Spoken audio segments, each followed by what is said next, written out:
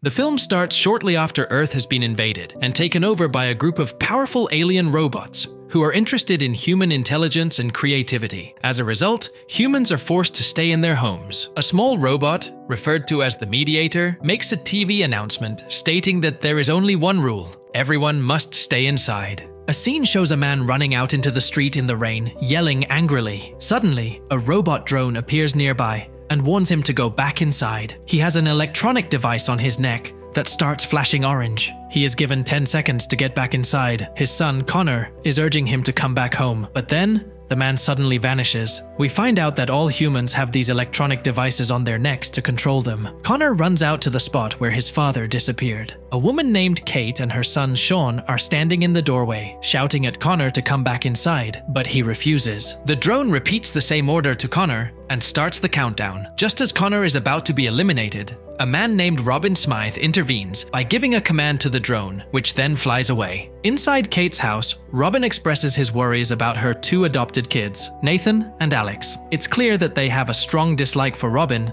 because he is employed by the robots. As Robin is about to leave, Sean asks about his missing father. Robin suggests to Kate that she could take care of Connor. At this point, we see a large robot craft known as a control cube floating above a coastal town in the distance. The following morning, Connor goes back to his own house to gather his belongings. A giant robot, known as a sentry, allows him five minutes to return to Kate's house. He barely manages to get back to her house within the allotted time. Then now, we see Kate, Sean, and the others watching a TV announcement made by the Mediator. The announcement states that the robots are studying all life forms in the universe and once they finish studying humans, they will leave Earth and never come back. Alex, however, believes they are lying. Meanwhile, Sean is in the kitchen, creating notices to search for his father, Danny Flynn. He folds these notices and places them inside tennis balls, which he then launches into other streets using elastic. The scene shifts to Sean exercising, while Nathan is having a conversation with an older man named Martin. Sean is committed to maintaining his fitness through regular exercise and training. The scene then moves to the attic, where Sean,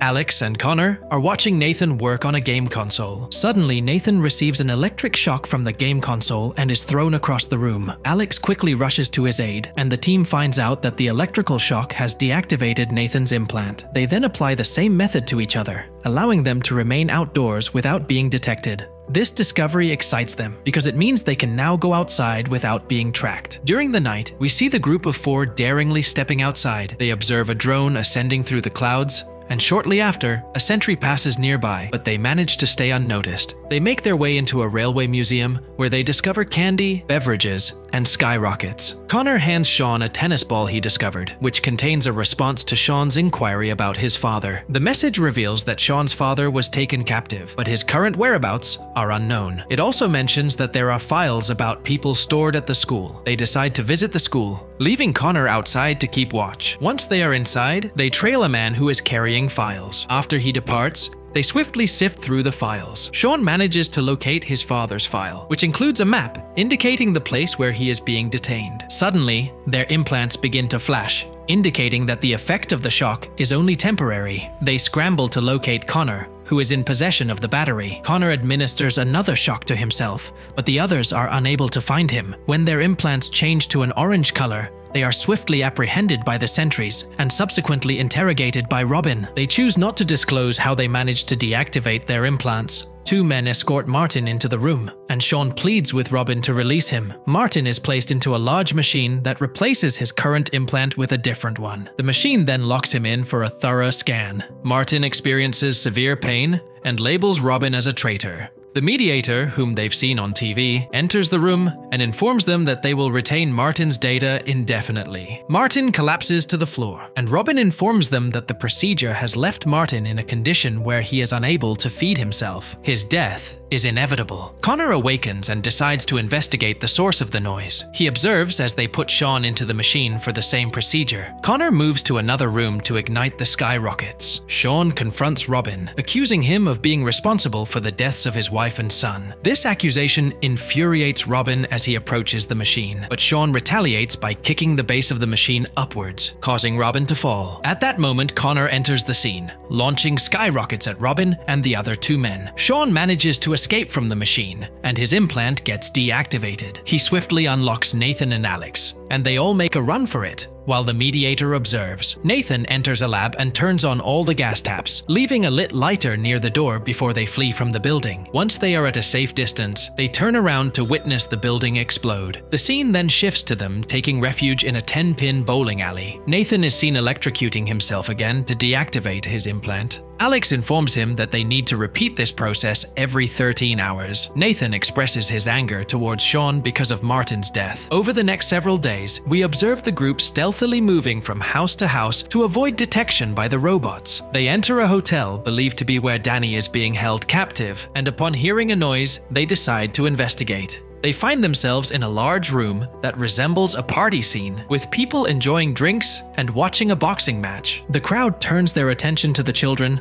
and starts to approach them, but a man named Wayne intervenes by firing a gun, halting their advance. Upon realizing that the children's implants are deactivated, they are brought before a woman named Monique, who appears to be in charge. After Connor demonstrates how to disable the implants, Monique introduces them to a wheelchair bound man named Swanee. Swanee is familiar with Danny, but informs them that Danny is no longer at the hotel. Swanee speaks cryptically about a watchmaker, a river, and a hidden lake, but his explanations are unclear. Suddenly, they hear an announcement from outside, instructing everyone to gather downstairs. Looking out the window, they spot Robin and Kate among the crowd. Sean decides to go downstairs, concealing his identity with a hoodie. Robin presents a photograph of Sean to everyone, announcing that Sean is sought for questioning. Before anyone can turn Sean in, Wayne intervenes and safely escorts Sean back to the hotel. Behind the hotel, Sean declares his intention to rescue his mother and then search for his father. The other three pledge their assistance. Wayne provides them with sandwiches and a radio for their journey, wishing them good luck. As they depart, Monique observes them from a window and uses the radio to guide them safely out of town. The scene then shifts to Robin, who is telling Kate about the robot's promise to grant him 100 acres of land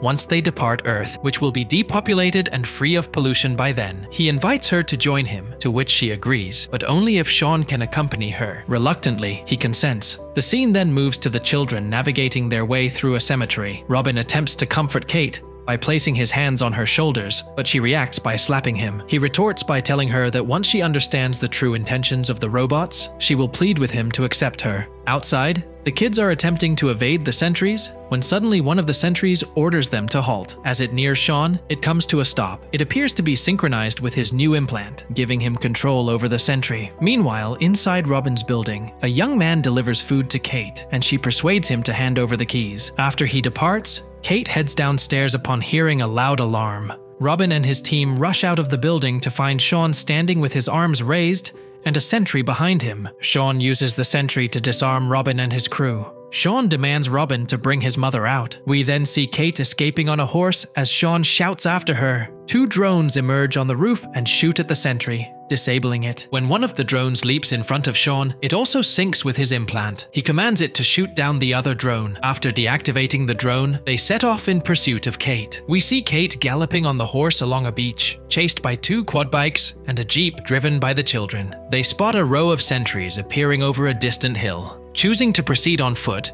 they traverse through a forest and cross two bridges spanning a river. Connor notices a young boy in the vicinity. When they call out to him, the boy flees. They arrive at a clearing where they discover a makeshift shelter. Upon inspection, they find a Spitfire aircraft in impeccable condition inside. Sean peers outside and spots a man observing them. When they step out and ascend a hill, they encounter a small group of people. Sean recognizes his father among them, and he and Kate rush to embrace him. Danny leads them to a lakeside settlement where others have been evading the sentries. As they stroll through the settlement, someone spots a drone prompting everyone to hide. Inside a mine, Danny recounts the events that transpired at the start of the war with the robots and his encounter with a man named Donald. We see Donald methodically removing the implants one by one. In a robot facility, we witness Robin interrogating Wayne, who is restrained in a machine set to perform a deep scan. Robin informs him that they are aware of the lakeside settlement. Danny and the rest of the group are gathered around a fire, listening to Kate explain that the robots plan to conduct a deep scan of every individual on Earth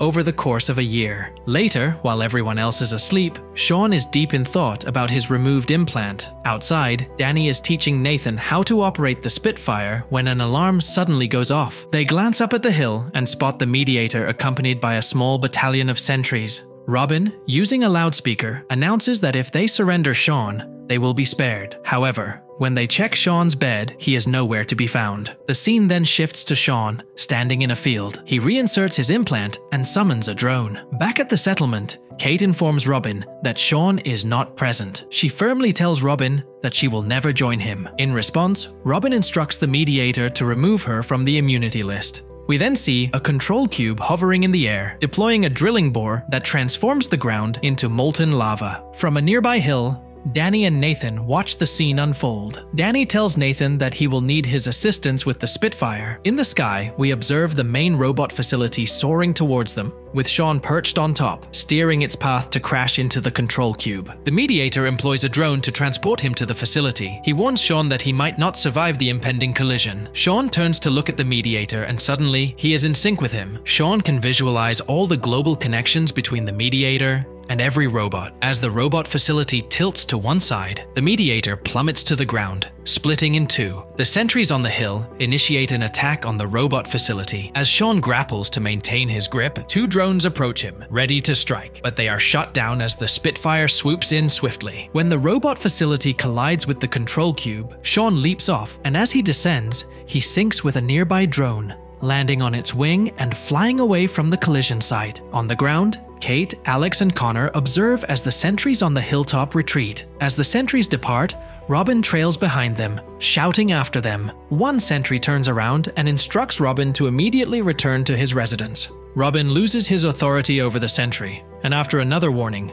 the sentry disintegrates Robin. The scene then shifts to Sean, Alex, Nathan, and Connor. Discovering the damaged mediator, Sean holds it and establishes a connection with it. The mediator advises Sean to stop. Gradually, Sean gains control over the mediator, and we witness sentries all around shutting down. The control cubes start ascending into the sky before detonating. As the mediator slowly powers down, the impact is seen globally as every sentry deactivates and every control cube bursts. The strain causes Sean to fall backwards and lose consciousness. After Alex bends down and kisses him, he regains consciousness. They stand together, observing the nearby control cubes all exploding. The movie concludes on a high note with the townsfolk rejoicing in celebration. In the final scene, Sean gazes at the starlit sky, intuiting that the robots might return. And with that, the movie ends. We hope you enjoyed our video. Watch the next recaps on the screen, and don't forget to subscribe for more amazing recaps. See you in the next one.